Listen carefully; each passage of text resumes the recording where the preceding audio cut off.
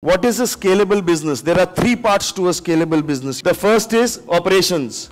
Have to be scalable or autopilot. One day a week, two days a week, even three days a week will do. बस उससे ज्यादा नहीं. The second part is sales. Sales should be scalable. Sales should be on autopilot. If sales is not on autopilot, you don't have a scalable business because you will be doing sales. You will be going out and meeting clients. You will be helping negotiations. You will be doing closings. Not allowed. You can't have a model where you are meeting clients. You have to stop meeting clients. Your sales should be on an autopilot. Only then will sales grow. Operations becomes okay only when you exited it, yes? And then you have to create capital to sustain the growth or the sales. You have to create the capital to sustain the growth. This is the third part.